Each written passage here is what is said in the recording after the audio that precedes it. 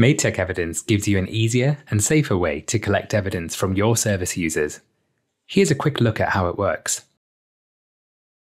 Many services provided by local authorities require applicants to prove information about themselves. One of the most popular ways of doing this is to ask applicants for copies of documents.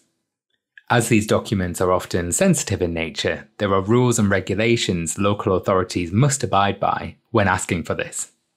A popular way of asking for this evidence is through the use of long and complicated email threads.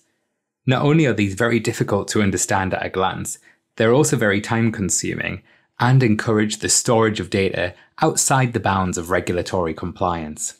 I'm going to show you how we can use Made Tech evidence to not only ask the applicant for the evidence that we need, but also help them resolve any problems with what they've sent us, so we can provide the service that they've requested. As the officer, I'm going to start by creating a brand new request. We found that officers often ask for the same list of documents for each application. To make this simple, we can just choose a template from this list. Made Tech will work with you to make sure that we're asking for the correct documentation for your unique workflow.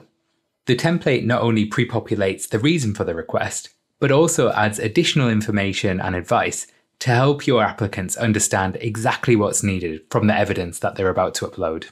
The only additional step is to add the applicant's name and the email address where we will send the request. I also have an opportunity here to provide an external reference number.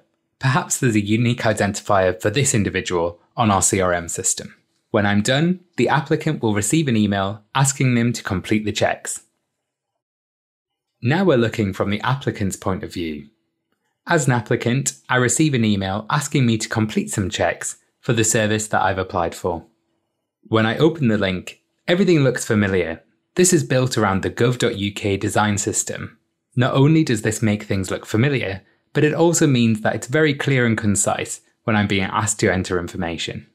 I now see a clear list of all the checks that I must go through in order to complete the request. In this example, I've been asked to go through an automated identity check.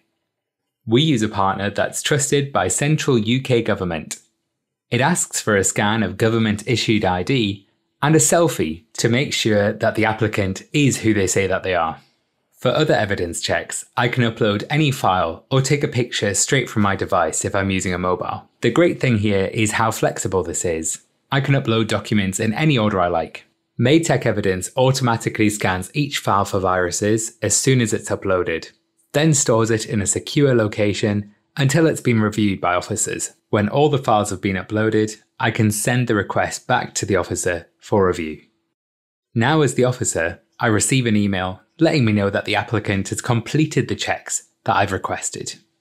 Opening the request up, I can firstly see that the automated identity check is now complete and I can see the information that's been gathered from the official identity document.